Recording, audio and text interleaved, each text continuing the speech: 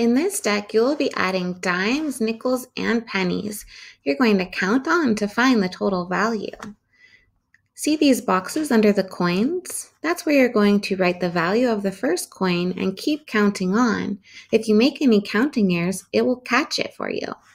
So the value of a dime is 10 cents plus um, a nickel is 5 cents. So 10 plus 5 is 15 plus a penny, which is worth 1, would be 16. So the total value of our coins would be 16 cents, right? 10, 15, 16.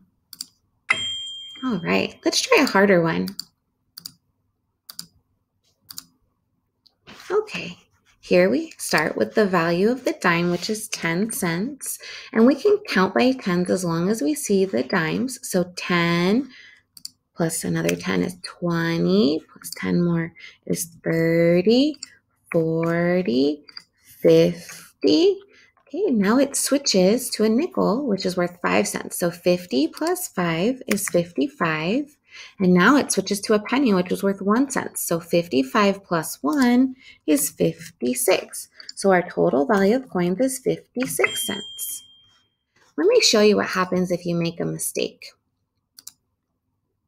Okay, let's say you start here and you say that the value of your dime is 10 cents plus 5 more is 15 and now we can count by 5 with all these nickels. So 15 20 25 30 35 and now it switches to a penny. But what a lot of people do a lot of students do is they don't realize that it just switched to a penny and then they just type in 40 like as if it were a nickel and they'll put their wrong answer here 40 cents.